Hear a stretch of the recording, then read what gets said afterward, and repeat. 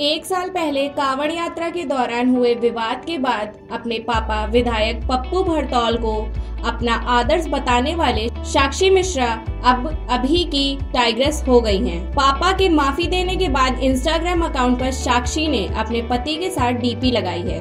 उन्होंने खुद को अभी की टाइग्रेस बताया है।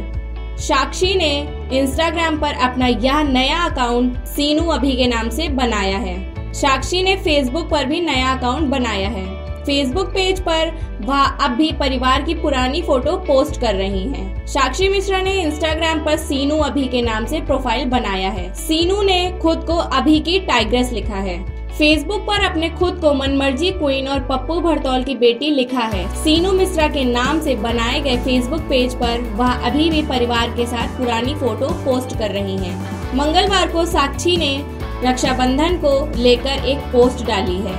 उसने लिखा है, भाई कभी आई लव यू नहीं बोलते, कभी प्यार से बात नहीं करते, लेकिन सच तो यही है कि पूरी दुनिया में सबसे ज़्यादा प्यार सिर्फ़ भाई ही करते हैं। उधर अजितेश ने विधायक के परिवार के लोगों की इस बात को गलत ठहराया कि उन्हें इस लव स्टोरी के बारे में जानकारी नहीं थी। उन्होंने कहा कि, वह, इसका जवाब तो आमने सामने बैठकर ही देना चाहेंगे। अगर उन्हें साक्षी और मेरी लव स्टोरी के बारे में जानकारी नहीं थी तो उन्होंने साक्षी पर इतनी बंदिशें क्यों लगाई? अजितेश का दावा है कि विधायक और उनके परिवारी जन पहले से ही सब जानते थे। अपनी और साक्षी की उम्र को लेकर उठ रहे सवालों पर अजितेश ने कहा कि दोनों की उम्र के बीच पाँच से छह साल का अंतर है। आपको बता दें कि भीतरी विधायक पप्पू भरतौल की बेटी साक्षी 3 जुलाई को घर छोड़कर चली गई थी।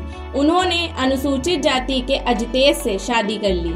10 जुलाई को साक्षी ने वीडियो के ज़रिए जान को खतरा होने की बात कही। 11 जुलाई को साक्षी ने दूसरा वीडियो वायरल किया। इसमें उन्होंने पापा विधायक राजेश मिश्रा, भाई विक्की बर्तौल और विधायक के करीबी राजीव राणा ने अपनी जान को खतरा बताया।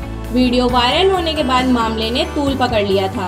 एक खबर नोएडा के जेवर चरौली गाँव से आई।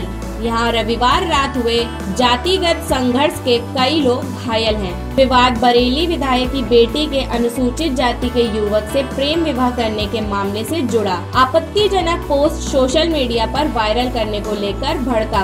पुलिस ने पोस्ट वायरल करने वाले युवक समेत उपद्रव में शामिल 16 लोगों के खिलाफ मामला दर्ज किया है। तनाव को देखते हुए गाँव में पुलिस बल तैनात किया गया है। खबरों के लिए बने रहें। तदस्तक 24 के साथ नमस्कार हमारे साथ जुड़े रहने के लिए हमारे YouTube चैनल को सब्सक्राइब करें, साथ ही बेल आइकन को दबाएँ।